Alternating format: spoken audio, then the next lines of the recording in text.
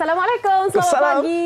Apa khabar semua yang berada di rumah ataupun Hmm. kira-kira lah kan di mana Ah. sahaja anda berada. Ada yang mungkin menyaksikan kami secara uh, Facebook live dan Ya. sebagainya. Kita harapkan yang terbaik pastinya. Mhm. Doa banyak-banyak supaya kesihatan diberikan untuk sepanjang hari ini. Ya. Jadi satu jam Mhm. anda akan bersama dengan saya. Jangan muak tengok muka saya walaupun dah ditutupi dengan filter muka ni.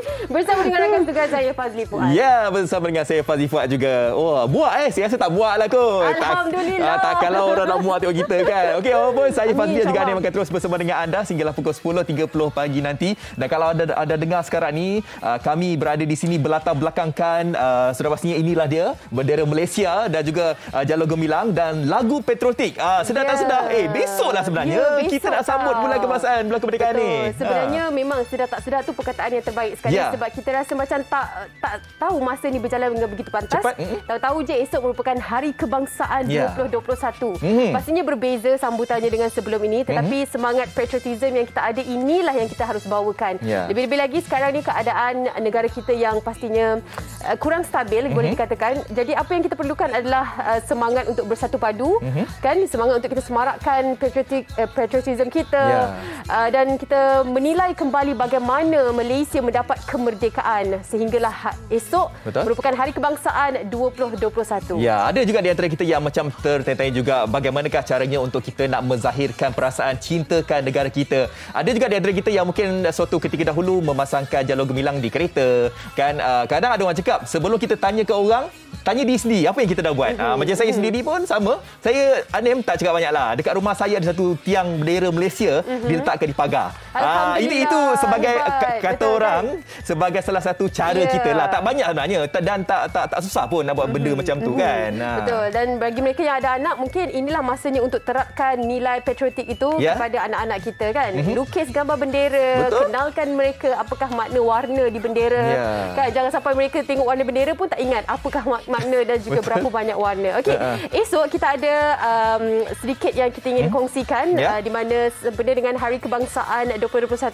kita akan bawakan secara langsung. Ya. Dan istimewanya esok uh, kita akan bersiaran lebih daripada satu jam kan? Dua Ah, jam eh? Dua jam, lebih kurang dua jam lah. Ha, Dua ha. jam kita akan belanja kepada anda semua untuk menyaksikan Ya. suasana di uh, sambutan Hari Kebangsaan Mhm. 2021. Fazli juga akan bersama dengan uh, anda semua esok. Betul. Uh, InsyaAllah besok saya akan bersama dengan anda. Jadi pastikan anda terus bersama kami. Kalau biasanya Malaysia hari ini akan bersiaran pukul 9.30. Ya. Uh, besok secara khas kami akan bawakan kepada anda semua bermula jam 8 pagi. Uh, Ya. jadi 8 pagi tu di TV3 pastikan anda kekal tengok kami. Uh, sebab ini merupakan kali yang kedua sambutan untuk bulan kebangsaan ini. Dan kita tahu bahawa sekarang ini mungkin tak ada uh, secara fizikalnya. Kan dulunya tak kita dapat boleh nak lihat. berarak, tak dapat berarak, nak ya. bersama-sama di Mm-mm. sana. Jadi Ya. jangan risau, kita akan bawakan secara langsung untuk anda menikmati di rumah. Uh, terapkan semangat itu walaupun Ya. di rumah tak apa. Itulah hari kebangsaan kita Malaysia kita. Okey, bersempena dengan bulan kebangsaan ini, saya rasa um, salah seorang daripada atlet paralimpik kita ni Ya. memang bertepatan sekali lah ha, menghadiahkan pingat emas pertama buat negara kita. Jadi kita nak ucapkan tahniah setinggi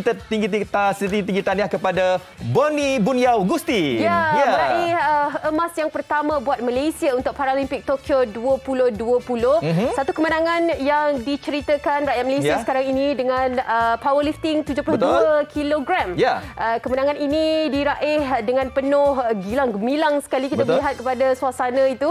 Betul. Ini dia sedikit kita uh, kongsikan kepada anda kompilasi video yang ada. Betul. Dan, dan Ah. Boni Bunyau ni sebenarnya berjaya untuk memecahkan rekod Paralimpik yang Ya. dipecahkan olehnya sendiri. Kalau setempoh hari uh, beliau mencatatkan 228 kg dan Mhm. kalau sebelum ini uh, dalam acara yang sama untuk powerlifting ini 225 kg. Hmm, uh, dan juga kalau kita lihat ada kat lagi sini Tan yang Ya. boleh menandingi Betul. Ah. Boni. Okey, uh, Boni merupakan juga jutawan ya. Oh, Alhamdulillah. Alhamdulillah. Uh, Ah. saya akan memberikan satu juta. Tapi tak apa, kita banyak lagi nak kongsikan kerana Ya. secara eksklusifnya kita akan bawakan kepada anda semua Boni Bunya Agustin esok di Malaysia hari ini. Okey? Hmm, Okey, besok kami akan bawakan kepada anda semua. Okey, dan uh, antara yang menarik juga akan kami bawakan pada hari ini banyaklah sebenarnya. Ya. Dan kita nak bercakap tentang nanas ni. Ya. Ah, ki- kita tahu bahawa uh, nanas ni sebenarnya memang popular dekat Johor lah. Tapi kalau Ah. anda dah tahu apa yang boleh kita buat dengan nanas tu bukan sekadar makan saja, kita Ya, boleh buat sos. Ah, betul. kejap ini kita akan kongsi kepada anda semua. Okey, uh, kita nak kongsikan juga antara hmm. yang menarik hari ini adalah uh, kisah inspirasi ataupun yeah. kita Malaysia mm-hmm. uh, kerana ada individu ini menghasilkan replika merdeka yeah. kerana kalau setiap tahun ini beliau mm. akan habiskan 2 hingga 3 bulan. Mm. Bukan satu dua hari lukis bendera eh tidak. Betul. Tapi beliau akan habiskan masa 2 hingga 3 bulan. Itulah cara individu ini menunjukkan semangat uh, patriotiknya mm-hmm. dengan menghasilkan kali ini dia menghasilkan replika kapal selam. Ah, kapal layar. Eh, kapal layar. Uh, Salah, kapal eh, layar. Selam, kapal ya, layar. Ini bukan kali pertama yang Tahu beliau dibuat. Tahu saya. Betul, sebelum ini dia ada buat kapal terbang, uh, jet pejuang uh. dan macam-macam lagi lah. Okay. Uh, okay. Sebab saya tak sebut tu. Sebab dah confused dari mana jet dengan mana kapal. Okey, jom kita tengok perbezaan kapal layar ke kapal selam. Okay, jom kita saksikan.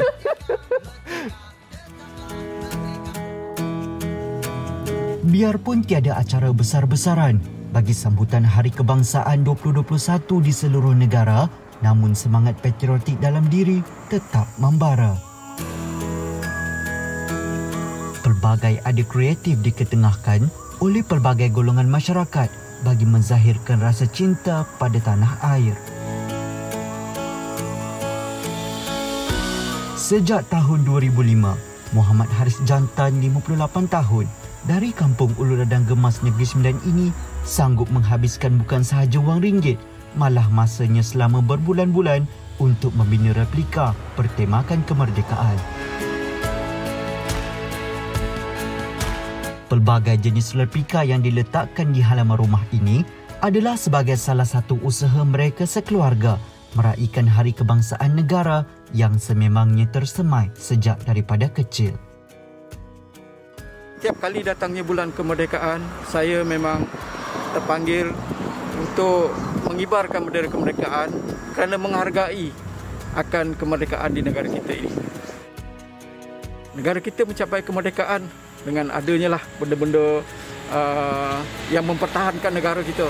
Ya, walaupun kita tidak berperang, tetapi inilah dia kereta kebal, uh, jet pejuang, helikopter, aset negara yang mempertahankan negara kita.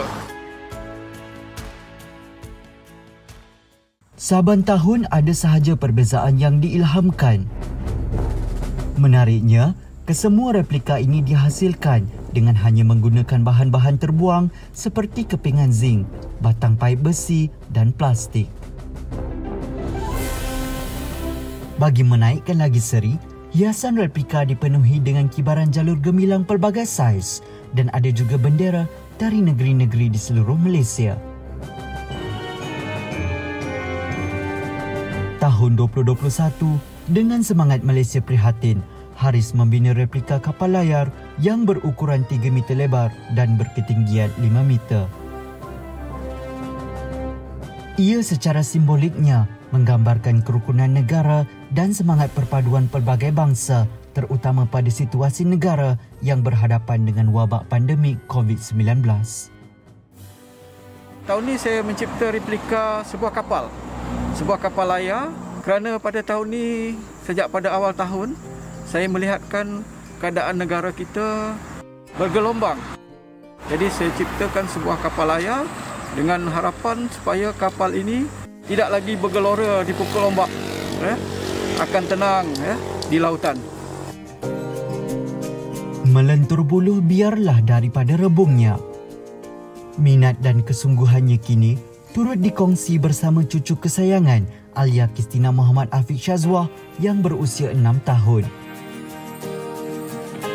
Selain mengibarkan jalur gemilang pada replika kapal layar yang dibina Haris tidak ketinggalan memasang bendera di sekitar rumahnya. Lebih membanggakan, semangat patriotisme yang dilakukan ini bukan sahaja menarik perhatian penduduk setempat, malah pengunjung luar yang datang. Secara tidak langsung, ia dapat mengajar mereka untuk lebih menghargai erti sebuah kemerdekaan satu makna yang cukup uh, tersirat sekali Mhm. sekali dengan uh, tapi saya dah tahu beza lah yang mana kapal layar dengan kapal selam. Perkongsian yang cukup bermakna Ya. itu dia Encik Muhammad Haris Jantan berusia 58 tahun. Ya. Kalau anda berada di sekitar kan mesti rasa macam nak ambil gambar Ah, ah, kan. betul. Dekat depan rumah kan, Dekat depan parking rumah tu kan. tu memang Ah, cantik ah. dengan susunan bendera yang dikibarkan. Ah, Itu dia perkongsian kita pada hari ini yang semoga menjadi inspirasi kita dengan hashtag kita Malaysia. Yes, kita Malaysia. Okey, kita dah bawakan kepada anda semua. Ini dia seperti mana yang saya katakan tadi daripada lembaga Nanas Malaysia. Ya. Ah, ini adalah salah satu daripada caranya kalau anda mempunyai sos nanas ni. Ah, Ah, contohnya macam kan? saya boleh buat macam uh, ikan sweet sour ke. Ah, betul, betul, mungkin betul, lah, betul. Kan? Tapi Ah. selalunya kita makan nanas ni cecah dengan uh, kicap, makan macam tu. Wah, ataupun eh, macam tu kan. kan? Hmm. Ataupun dengan dia punya asam jambu. Ni. Kali ini berbeza kerana Hmm. dia buat sos cili menggunakan Aha. nanas. Okey. Ah, apakah resepinya? Jom sama-sama kita saksikan. Jom.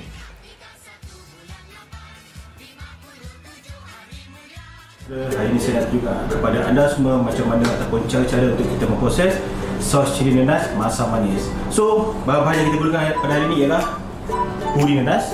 So, ini daripada nanas yang telah kita pilih, gula pasir, cili kering, bawang putih, dan garam, tepung kanji ataupun kita gunakan MCS, modified cornstarch, zentegam sebagai gam makanan, sodium benzoate sebagai bahan awet, asid asetik ataupun cuka pekat. Dan tak lupa juga kita ada air. So ini adalah cili kering dan juga bawang putih untuk kita kisar bersama. Dan kita sediakan sedikit air. Pastikan kita gunakan air yang dalam timbangan tadi supaya kita nak produk kita lari formulasi ataupun bertambah lagi. Kita perlu larutkan kita punya tepung kanji tadi dengan air yang dalam timbangan. Kita larutkan dia.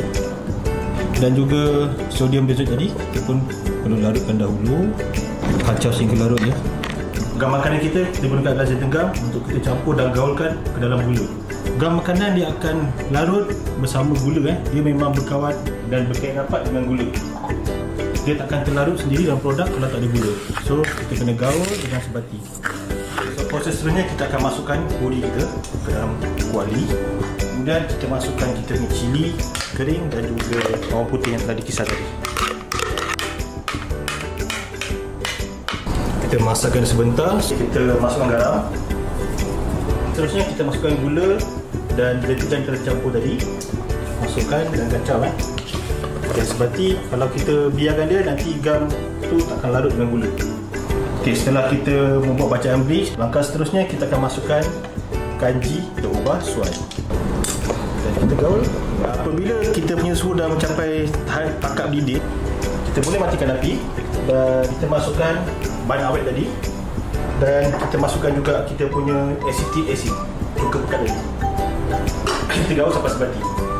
Okey, ini dia sos yang telah siap dimasak telah mencapai suhu yang kita nak, standard breeze yang kita nak. Kemudiannya dengan keadaan yang masih panas, kita terus botolkan ke dalam botol kaca.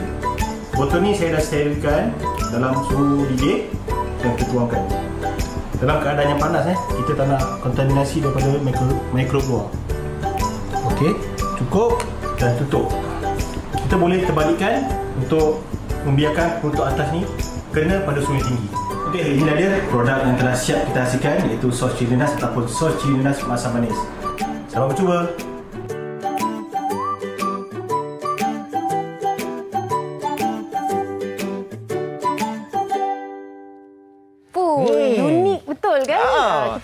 Dengar sos garlic ataupun sos bawang putih. Tapi kali ni sos cili nanas. Boleh Ya, cuba betul. ah, resepi yang dikongsikan bersama dengan kita tadi? Ha, ha, jadi kalau ada di antara anda yang mungkin terasa macam nak buat sendiri, tak ada masalah. Memang senang sahaja. Ha. Ah. penyediaannya memang sangat-sangat mudah dan senang. Jadi uh, adalah kata orang tu simpanan stok sos dekat Betul. dapur tu bermacam-macam cara lah Kalau kan. terlepas, nanti boleh saksikan siaran ulangan di Facebook Ya. Live kami untuk dapatkan resepinya. Okey, kita nak rehat seketika. Hmm? Kembali selepas ini kita nak kongsikan bersama dengan anda sedikit teaser sambutan Hari Kebangsaan 2021 yang akan diadakan esok. Mhm. Seketika nanti di Malaysia ini. jangan ke mana-mana.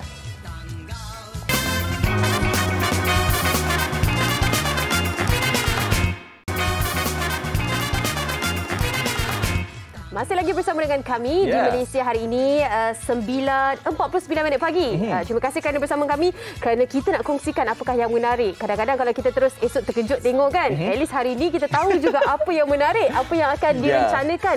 Kerana sambutannya berbeza pastinya dengan keadaan pandemik dan sebagainya. Jadi tanpa melengahkan masa lagi, Ya. uh, kami akan kenalkan Datuk Seri Haji Muhammad bin Mentek, Mhm. uh, Ketua Setiausaha Kementerian Komunikasi dan Multimedia Malaysia merangkap pengerusi jawatan kuasa kerja Pekerja sambutan Hari Kebangsaan dan Hari Malaysia 2021. Ya, sal- Assalamualaikum. Assalamualaikum Tuan Sri. Waalaikumsalam warahmatullahi Ya. taala wabarakatuh. Uh, Fadli dan Anim, apa khabar? Alhamdulillah. Baik-baik, Alhamdulillah. Sehat dan kami doakan Bersemangat. Ha, semangat Oh, pagi ni. Bagus. Ya, kita doakan Datuk Sri juga sihat dekat sana. Uh, nanti akan bekerja bersama-sama dengan menteri yang baru nanti, Tan Sri Anwar Musa. Ya. Okey. Baik Datuk Sri, kita nak bercakap tentang hari uh, sempena bulan kebangsaan ini. Kita tahu bahawa KKMM ini merupakan uh, kata orang tu antara penggerak utama lah menjadi tulang belakang dalam upacara uh, sempena bulan kebangsaan nanti. Dan kita Betul. nak tahulah mungkin uh, apakah mungkin antara persediaan yang uh, dibuat oleh KKMM uh, selaku Jawatankuasa Induk Hari Kebangsaan dan Hari Malaysia 2021. Datuk Sri. Uh, terima kasih uh, Fadli dan Anim. Bismillahirrahmanirrahim. Assalamualaikum warahmatullahi wabarakatuh. Salam sejahtera dan selamat pagi. Uh, pertamanya dan juga salam Hari Kebangsaan. Pertamanya saya mengucapkan terima kasih kepada apa ni pihak TV3 kerana sudi mengundang saya ke rancangan MSI untuk memperkatakan lagi berhubung dengan sambutan Hari Kebangsaan yang ke-64 yang mana sambutan itu kita akan adakan besok eh. Jadi uh, seperti mana yang telah kita sedia maklum uh, tahun ini merupakan tahun kedua kita menyambut uh, sambutan Hari Kebangsaan dalam norma baharu dalam keadaan kita lagi berhadapan dengan cabaran uh, pandemik COVID-19. Jadi sudah tentu sambutan kali ini tidaklah seperti sambutan sebelum-sebelumnya di mana kalau kita lihat sambutan sebelum ini kita lihat berduyun-duyun orang ramai akan uh, tiba ataupun akan menyertai sambutan itu di dataran merdeka Ya. ribuan yang akan turun sama-sama meraihkan sambutan hari kebangsaan uh. Uh, tetapi oleh sebab uh, pandemik COVID-19 maka bermula pada tahun lepas kita telah uh, ubah suai daripada segi uh, pendekatan daripada segi format dan sebagainya berhubung dengan sambutan hari uh, kebangsaan ini. Dan uh, untuk tahun ini kita masih lagi uh, Fadli dan Adim uh, mengekalkan uh, logo dan tema yang sama iaitu uh, tema Malaysia Prihatin dan Baik. tema Mal- Malaysia Prihatin ini adalah selaras juga dengan apa ni pendekatan keluarga Malaysia Ya. seperti mana dalam ucapan uh, pertama yang amat berhormat pada Menteri Malaysia uh-huh. uh, Datuk Seri uh, Ismail uh, Sabri Yaakob yang uh, telah memula memperkenalkan uh, tema uh, keluarga Malaysia itu sendiri. Baik. Um, dan pastinya yang menjadi persoalan di sini adalah tahap keselamatan lah kan kerana Ya. kita berada pada ketika uh, pandemik ini. Uh, jadi bagaimana kerajaan dan juga terutama sekali jawatan kuasa penganjur untuk memastikan kita berada pada tahap keselamatan yang uh, mengikut standard dan juga waspada dengan keadaan semasa ini Datuk Sri. Ya. Ya, terima kasih Anim.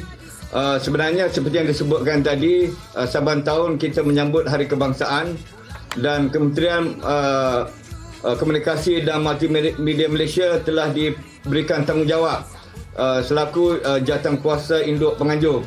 Dan Baik. kita ada dua jawatan kuasa iaitu satu pertama sekali jawatan kuasa induk uh, Hari Kebangsaan Hari Malaysia uh, yang dipengerusikan oleh Yang Berhormat Menteri uh, Komunikasi dan Multimedia Malaysia dan kita ada jawatan kuasa uh, kerja sambutan Hari uh, Kebangsaan dan juga Hari Malaysia yang uh, saya pengerusikan sendiri.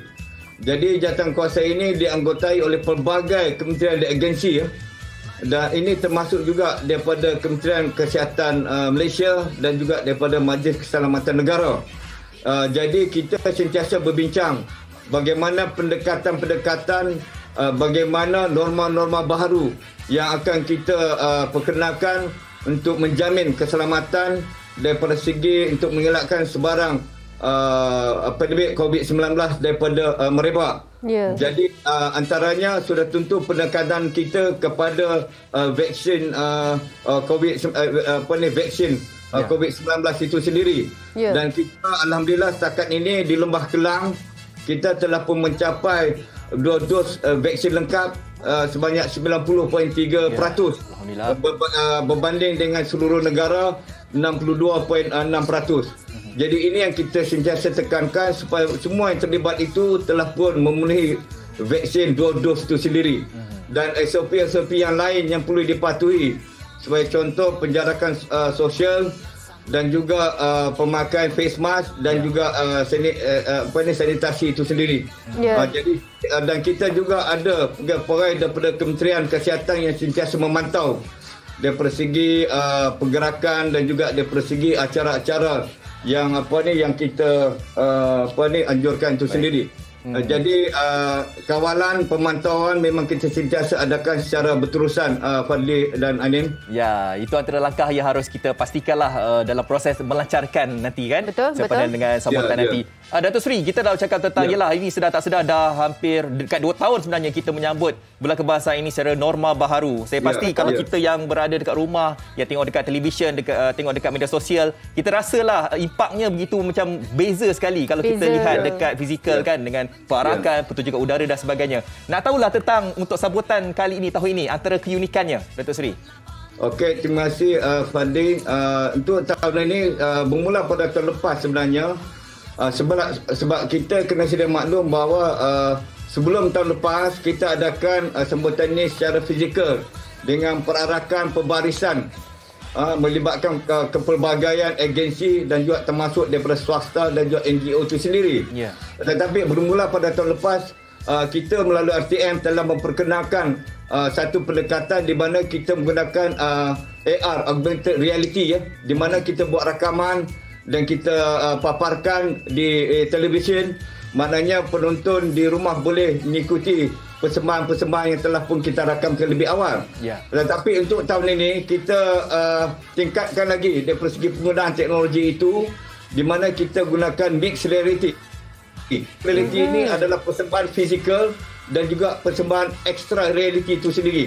Uh, okay. Jadi ini merupakan uh, wow factor untuk sambutan uh, pada tahun ini dan saya percaya uh, rakyat Malaysia yang menonton di rumah uh, dapat uh, menikmati dan terhibur dengan apa ni uh, rancangan-rancangan yang kita sajikan itu sendiri berdasarkan pada penggunaan teknologi yang baru ini. Wow, tak Oh. sabar rasanya kita nak Itulah. menantikan siaran esok. Uh, Ya. pastinya ini adalah untuk menyantuni mereka yang di rumah. Tapi kalau kita Ya. yang berada di rumah ini tidak dapat uh, menunjukkan semangat kita untuk menyebarkan jalur gemilang bersama-sama, apa yang mungkin Datuk Seri boleh sampaikan untuk kita masih lagi mempunyai semangat patriotik itu Ya. walaupun kita menyambutnya dari rumah. Ya. Uh, saya menyuruh semua rakyat Malaysia untuk sama-sama menyambut Hari Kebangsaan dengan uh, berada di hadapan kaca TV masing-masing besok pagi. Bermula pada 7.30 pagi besok sebab kita akan bersiaran melalui siaran tempatan. Ya. uh, semua channel-channel siaran tempatan uh, macam contoh TV3 tadi bermula pada pukul uh, 8 pagi tetapi untuk siaran channel-channel yang lain bermula pada pukul 7.30 pagi.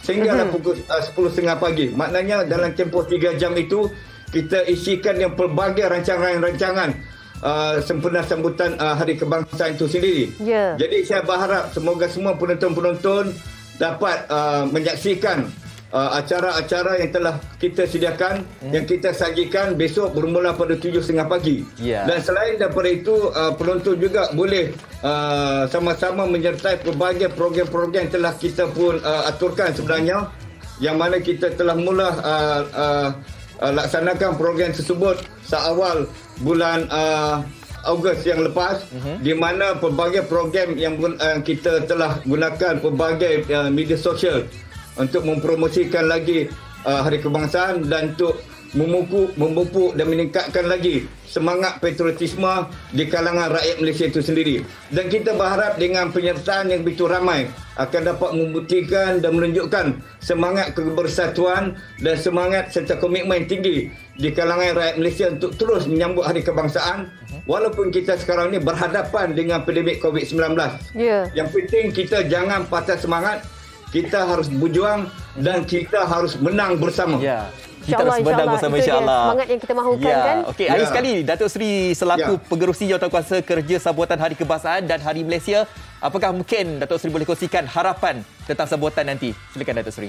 Harapan ialah kita memanglah kita merancang sebaik mungkin dan kita berharap semoga sambutan Hari Kebangsaan ini berjalan dengan lancar InsyaAllah. dan kita berharap uh, macam sebut tadi mendapat sokongan dukungan komitmen seluruh rakyat Malaysia sebagai amin, insyaAllah. satu keluarga Malaysia untuk sama-sama kita menyokong menyambut dan merayakan Hari Kebangsaan ini dengan penuh semangat dengan penuh iltizam dan kita perlu tingkatkan semangat uh, kebersamaan kita sebagai rakyat dan sebagai keluarga Malaysia itu sendiri. Itu harapan saya sebenarnya ada harapan kita di KKMM itu sendiri. Hmm, yeah. Amin insyaAllah. Kita mm-hmm. sentiasa mengharapkan semoga segalanya dipermudahkan. Mm-hmm. Dan pastinya yeah, persiapan yeah. hari ini dah hampir 100% hanyalah untuk menunggu uh, waktu esok sahaja. Mm-hmm. Yeah. Terima kasih banyak-banyak Datuk Sri berkongsi dengan Terima kita.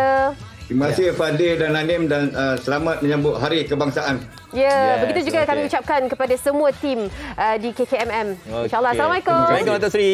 Assalamualaikum. Baik. Terima kasih. Itu dia ya, Datuk Seri Haji Muhammad bin Mentek, hmm. Ketua Setiausaha Kementerian Komunikasi dan Multimedia Malaysia dan juga merangkap pengurusi jawatan kuasa kerja sambutan Hari Kebangsaan dan Hari Malaysia 2021. Ya, kita tak sabar nak lihat besok uh, bersempena dengan bulan kebangsaan itu. Uh, mereka dengan menggunakan teknologi, teknologi terkini, uh, AR dan juga XR. Uh, ya. Jadi anda semua nak tahu uh, bagaimanakah teknologi itu.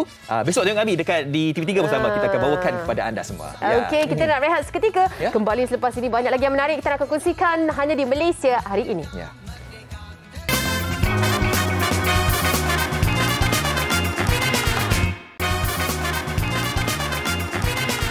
Terima kasih kerana masih lagi memilih kami Malaysia hari ini bersama dengan anda untuk 30 Ogos 2021 hari Isnin 20 Muharram. Okey, kita berada di segmen tajaan di mana kita nak kongsikan bersama dengan anda semua peminat-peminat minyak wangi. Uh, kerana Encik Iqbal ni yang kita akan kongsikan sekejap lagi uh, merupakan pengumpul minyak wangi lebih 50 jenama antarabangsa dan juga telah melabur wang ringgit membeli koleksi minyak wangi beliau. Jadi apakah inspirasi yang dihasilkan ataupun yang dicari-cari selama ini untuk menghasilkan minyak wangi sebegini? Jom kita bersama bersama dengan Encik Iqbal. Silakan Encik Iqbal, kongsikan bersama dengan kami. Ya saya, Assalamualaikum. Okey, sebelum kita menyebutkan tentang uh, saya melaburkan lebih daripada RM40,000 untuk membeli koleksi minyak wangi yang mana setiap botol yang saya beli tu berharga RM1,000 ke RM3,000. Uh, biasanya yang WhatsApp saya akan tunjukkanlah video bagaimana koleksi minyak wangi saya dan uh, boleh simpan juga nombor telefon saya dulu untuk WhatsApp sekejap lagi 012 733 4444 ambil gambar di skrin TV ataupun uh, sedang uh, tangkap gambar poster lah. Uh, jadi uh, saya ketika saya berusia 17 tahun saya mula meminati minyak wangi tu dah lama dan saya berhasrat untuk memiliki uh, minyak wangi yang berharga RM500 sebotol. Sedangkan waktu itu saya hanya bekerja sebagai pembasuh pinggan, pencuci pinggan. Jadi uh, begitu tekad saya untuk mengumpulkan dan sekarang Alhamdulillah setelah saya berjaya untuk pergi ke banyak negara untuk mendalami tentang minyak wangi juga, saya kira lebih daripada 15 buah negara. Saya pergi untuk belajar juga tentang minyak wangi dan sepatutnya sekarang saya berada di France selama 3 bulan untuk mendalami tentang minyak wangi dan terhasillah Iba Perfume. Yang mana ia adalah satu wangian yang tidak sama di Asia. Maksudnya satu-satu note ini NOT kita ni dia tidak sama dengan uh, bawaan yang dan uh, kalau boleh tengok di skrin TV itulah ketika saya berada di Brunei di um, Istanbul sebenarnya. Dan ini ketika di Shanghai. Dan ini di Shanghai dan Jepun ke Singapura ke negara Arab ke Dubai banyak negara yang saya pergi untuk belajar juga tentang minyak wangi dan hari ini tuan-puan beruntung sebab kita uh, ada hadiah yang sangat special tetapi hanya kepada 50 orang terawal sahaja yang buat pembayaran. Apa hadiahnya? Ini adalah untuk satu set tuan-puan akan dapat 6 hadiah beg. Maksudnya satu set pembelian akan dapat 6 beg hadiah dengan harga RM170. Tuan-puan akan dapat satu botol minyak wangi uh, yang lelaki dan satu botol minyak wangi yang wanita. Uh, kalau boleh tengok di skrin TV itu Intas adalah yang uh, wanita, Desire adalah yang lelaki. Sebenarnya ia adalah unisex. Jadi RM170 sangat murah dengan harga uh, termasuk penghantaran ke Sabah Sarawak. Jadi ambil gambar di skrin TV dan terus buat pembayaran sebab hadiah hanya kepada 50 orang yang buat pembayaran terawal saja. Jadi begini, untuk lebih meyakinkan tuan-puan, saya uh, untuk menghasilkan Iba perfume ini kita tidak ada ejen dan juga stokis. Kerana itu saya berkorban uh, saya nak nilai dia eksklusif dan kita bukan mudah untuk dapatkan satu-satu bawaan ini memerlukan okey untuk satu uh, wangian ini memerlukan lebih daripada 200 campuran bahan tumbuh-tumbuhan. Maksudnya dia boleh dipakai untuk solat, uh, mesra untuk orang Muslim, tidak hapak, tidak pening dan yang penting adalah tahan lama dan ini adalah edisi yang khas. Ini uh, cuma ada dalam 600 set saja lagi yang akan habis. Mungkin hari ini akan habis dengan uh, segera. Jadi tuan-puan WhatsApp ambil gambar di screen TV segera. Dan yang bagusnya untuk uh, puan yang ada suami yang merokok uh, terutamanya. Jadi cuba pakai yang uh, warna biru ini. Yang biru ini dia akan blend uh, bawah rokok dan hapuskan bawah rokok yang sangat kuatlah. Dan dapat juga percuma kotak yang hitam ini untuk diberikan hadiah uh, kepada mak ayah, kepada uh, anak-anak yang lama kita tak berjumpa kan. Jadi ini pun kena cepat kalau nak hanya kepada 50 orang yang buat pembayaran terawal saja. Jadi kalau boleh saya tunjukkan hadiah ini sangat banyak ya. Sangat besar dan ini kalau beli dua set bermaksud akan dapat 12 hadiah. Jadi hadiah ini berada di tangan saya sangat banyak boleh letak kain-kain dan sangat besar. Ada enam, saya tak tak mampu nak akad semua lagi. Mm-hmm. Jadi enam hadiah. Okey, Encik Iqbal untuk satu minit yang ya. terakhir ini, apakah yang ingin disampaikan kepada penonton? Silakan. Okey, tuan-puan, begini. Dengan harga RM170, tuan-puan akan dapat dua botol minyak wangi. Satu yang lelaki, satu wanita. Dan ia adalah sebenarnya unisex. Dan jangan risau, saya sudah pergi ke banyak negara untuk belajar tentang minyak wangi. Dan kepada 50 orang terawal sahaja. Ambil gambar di skrin TV sekarang, bagi tahu saja nak satu set atau dua set, tuan-puan akan dapat penghantaran juga termasuk ke Sabah Sarawak beruntung uh, dengan harga RM170. Jadi WhatsApp sahaja, jangan call. WhatsApp sahaja di nombor 012 733 4444. Dan yang penting ia tidak pening, EDP, tahan lama dan uh, boleh digunakan untuk solat. Dan kita tak ada ejen, hanya di sini saja dan saya pun tak tahu bila saya bersiaran di sini lagi dan jangan lupa untuk follow juga Instagram saya uh, Ahmad Iqbal Zulkifli uh, Malu nak sebut. Uh, sekarang tengah viral. Okey. Jadi uh, ambil gambar di skrin TV uh, dan terus buat pembayaran. Aha. Apa yang viral tu eh? Uh, okay, tak apa-apa. Kalau nak tahu apa yang viral, kena pergi ke Instagram Cik Iqbal. Cik Iqbal, ya. terima kasih banyak-banyak. Terima kasih banyak. Okey. Assalamualaikum. Waalaikumsalam warahmatullahi Baik. Okey, itu dia. Uh, Iba Perfume uh, daripada Encik Ahmad Iqbal Zulkifli sebagai pengasas Iba Perfume. Kalau anda mungkin nak dapatkan, uh, boleh sahaja saksikan siaran ulangan kami. Kalau tak sempat ambil nombor telefon dan anda boleh sahaja pergi ke Instagram beliau untuk dapatkan uh, apa sahaja info yang anda perlukan. Okey? Jadi kita nak rehat seketika kembali selepas ini ada yang menarik kita nak kongsikan dari Medsos.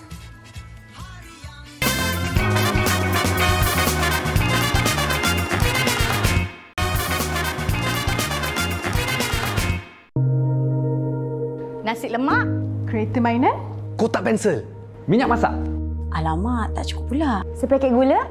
RM5 mungkin kecil nilainya untuk belanja harian. Tapi jika didermakan, nilainya menjadi satu harapan yang besar kepada mereka yang memerlukan. Mak ayah boleh teman anak yang sakit di hospital. Bantu kanak-kanak tersenyum manis. Kanak-kanak lebih bersemangat ke sekolah anak istimewa dapat belajar dengan lebih selesa.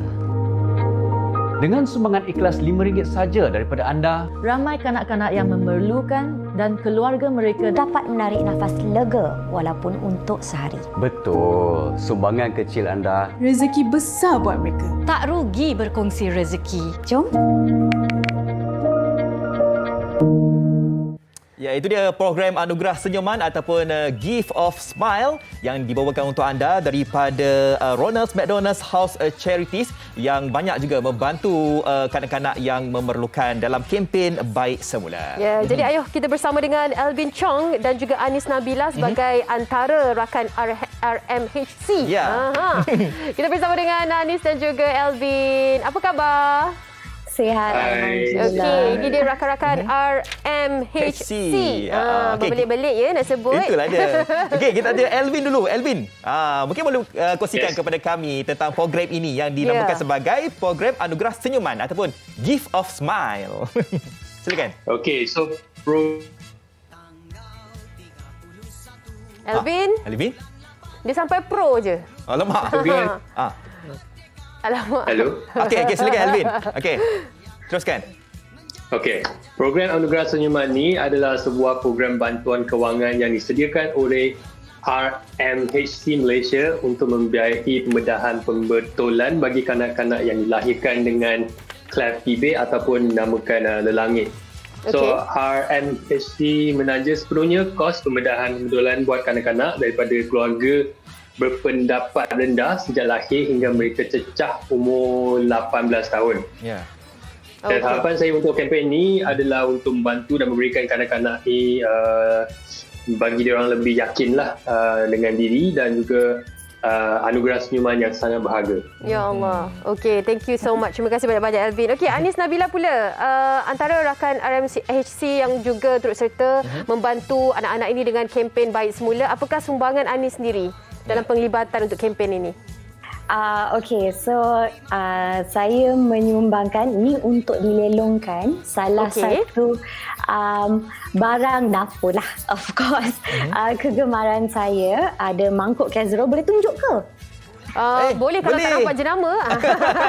Okey, Ah, angkat je. lah di color merah, okey? Wow. Uh, dan ini akan dilelongkan Mhm. um, pada 2 dan 3 Oktober nanti. Okey. Dan kita harap um, bukan saya seorang, uh, Alvin pun ada kasih uh, barang personal dia uh, ramai kita lah dan kita harap uh, barang barangan ni dapat dilelongkan dan dapat mengumpul jumlah 300 ribu 300 ribu ringgit Okey. uh, untuk membantu mereka yang memerlukan. InsyaAllah. Kita dah tahu dah, dah, dah tengok dah barang lelongan Anis. Ah. Ah, nak, Elvin, Elvin. Okey, Elvin nak angkat apa pagi ni?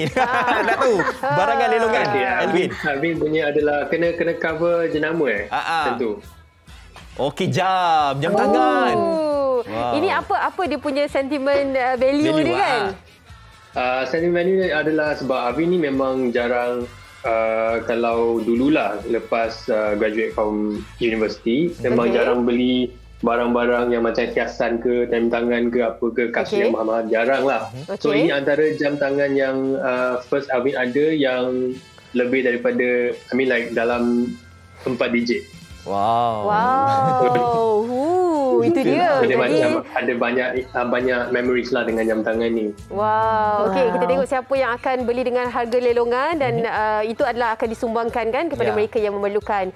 Macam kalau Ya. Anis pula mungkin boleh kongsikan tentang uh, rumah McDonald House. Ya. Okey, rumah Ronald McDonald ni adalah rumah penginapan di kawasan hospital um, yang khas buat keluarga pesakit kanak-kanak yang sedang menjalani rawatan di hospital.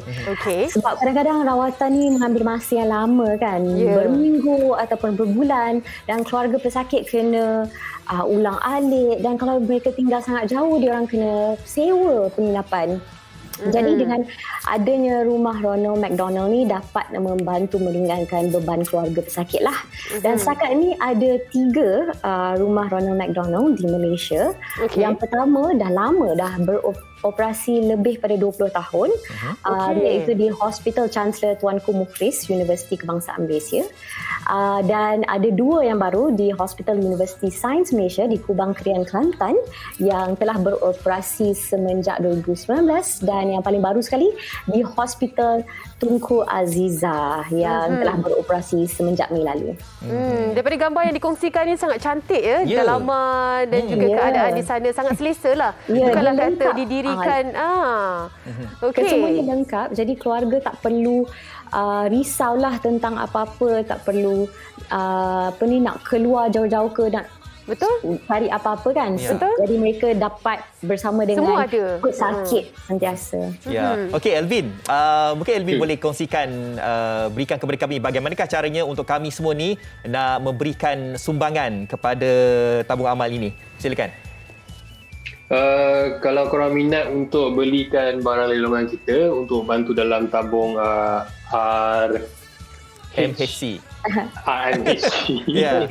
ini uh, korang boleh macam uh, dia cakap lah boleh ikut sesi jualan amal kita Okey. pada dua hari bulan dan tiga hari bulan Okey. betul lah adik saya dua Ah, hari tiga bulan uh, dekat Haji Live so siapa-siapa yang minat bantu boleh join kita dekat sesi jualan amal tersebut Aha, okey ataupun nanti boleh ikuti Instagram mereka berdua mm-hmm. dan juga rakan-rakan RMHC yang lain yeah. lah kan. Mm-hmm. Kalian pasti update di sana kan? Mhm. Ya. Yeah. Yes. Aha. Okey, terima kasih banyak-banyak mm-hmm. Anis dan juga Alvin. Terima kasih. Terima kasih. Jaga diri ya, stay safe ya. Ya. Yeah. Okey, guys too. Okay. Bye. Jaga jam baik-baik eh Alvin eh.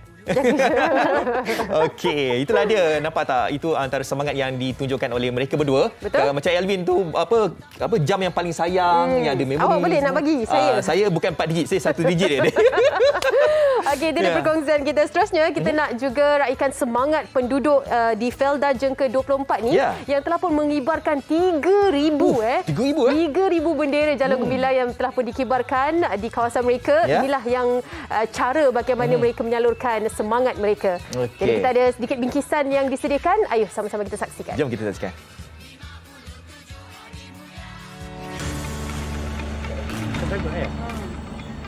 Bulan Kebangsaan antara bulan yang sentiasa dinanti-nantikan oleh seluruh warga peneroka Felda Jengka 24 di Pahang. Menurut Ketua Peneroka Felda 24, Razak Daud, mereka tetap bersemangat mengibarkan hampir 3,000 jalur gemilang di seluruh kawasan Felda sebagai tanda cintakan negara sempena Hari Kebangsaan ke-64 tahun ini.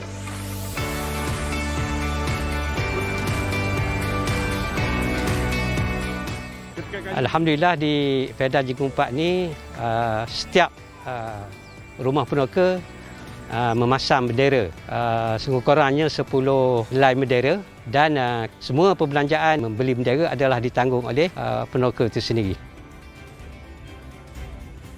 Selain memasang jalur gemilang di 330 rumah peneroka, Jawatan Kuasa Kemajuan dan Kesejahteraan Kampung JKKK turut memasang bendera di sepanjang jalan dan pintu gerbang masuk ke tanah rancangan. Dalam keterujaan menghiasi seluruh kawasan, para penduduk setempat tetap mematuhi SOP yang ditetapkan.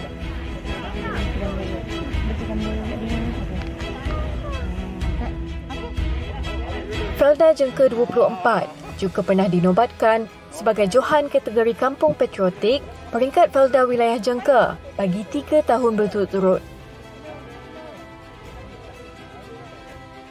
Walaupun berdepan dengan pandemik COVID-19, pembudayaan sambutan Hari Kebangsaan begitu dititik beratkan oleh penduduk setempat agar terus menjadi ikutan kepada generasi anak bangsa di masa hadapan.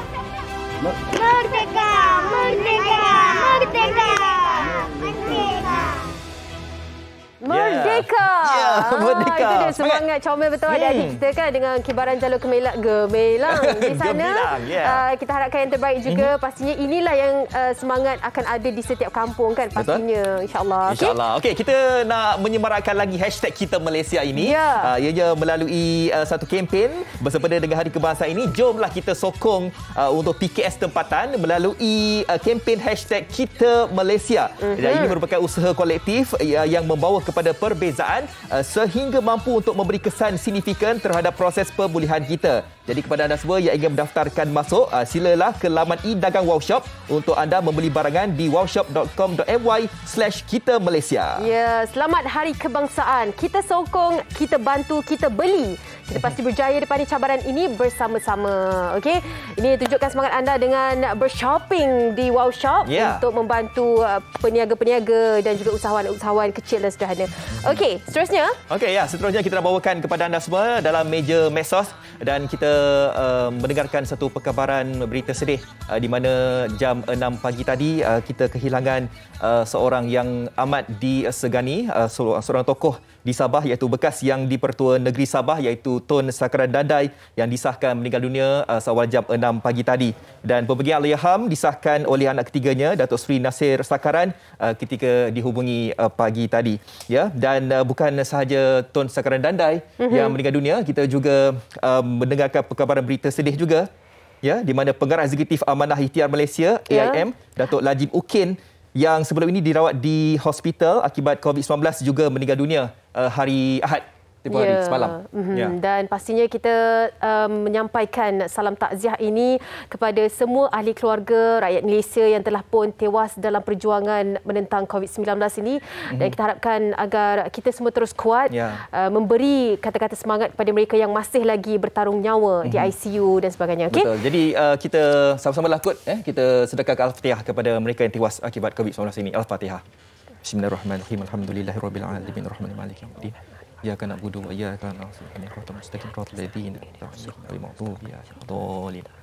Amin amin ya rabbal alamin. Diharapkan Uh, kita faham uh, Anim eh? Ada Ya. mungkin sebahagian daripada penonton Malaysia hari ini juga kehilangan keluarga akibat COVID-19 ini. Kita harapkan um, anda semua dapat kekal tabah Marungi segala cabaran ini. Mm-hmm. Okey, kita nak kongsikan juga petang ini Ya. uh, 69 ahli kabinet kita akan mengangkat sumpah Mhm. uh, di mana daripada 31 menteri 16 daripada mereka akan mengekalkan jawatan di kementerian yang sama Ya. manakala 38 timbalan menteri dan juga 22 daripada mereka kembali memegang jawatan yang sama daripada kabinet sebelum ini. Ini Betul. dia. Ya. Jika artikel yang boleh dikongsikan Ya, jadi uh, itulah dia. Jadi anda boleh lihatlah mungkin petang ini uh, bersama dengan istiadat mengangkat sumpah jawatan setia serta sumpah simpan rahsia di hadapan Kebaduli Yang Maha Mulia yang di-Pertuan Agong Sultan Abdullah Riayatuddin Al Mustafa Billah Shah. Dan kita harapkan uh, mereka yang telah pun dinamakan sebagai menteri ini dapat menjalankan tugas. Dan yang paling penting uh, ada beberapa perkara yang harus diberikan penekanan. Uh, dalam masa sama kita nak mengekang penularan COVID-19 kita ingin memajukan ekonomi kita. Dalam masa sama juga untuk kita menjaga sosial kebajikan rakyat. Ayuh membulat tekad amin, amin. uh, bekerja bersama dengan rakyat InsyaAllah kan kita harapkan segalanya dipermudahkan Mhm. untuk istiadat pada petang ini. Ya. Dua setengah petang insyaAllah. Okey. Mhm. Baiklah, esok kita nak kongsikan juga apa yang menarik. Ya, esok seperti mana yang kami wawarkan di awalnya tadi, uh, bermula jam 8 pagi nanti, insyaAllah lah saya bersama-sama dengan rakan-rakan saya nanti, uh, kita akan uh, melihat uh, bersempena dengan sambutan Hari Kebangsaan. Kalau kita ikutkan sambutan Hari Kebangsaan, uh, mungkin akan dimulakan secara langsung bermula jam 7.30 pagi. Ya. Uh, Okey, jadi seperti mana yang Datuk Seri uh, Muhammad uh, Mentek katakan bahawa ini merupakan norma baharu. Uh, Betul. jadi kita nak lihatlah ada teknologi-teknologi teknologi terkini yang akan kami bawakan esok uh, bersama dengan Hari Kebangsaan nanti. Ya, jam 8 pagi kekal berada di TV3, okey? Ya. Jadi itu sahaja. Ya, okey. Dan kita telah pun sampai ke hujung rancangan. InsyaAllah kita jumpa lagi nanti. Baik, Ya. Assalamualaikum. Jaga diri semua. Ya, Assalamualaikum. Bye-bye. Merdeka! Merdeka!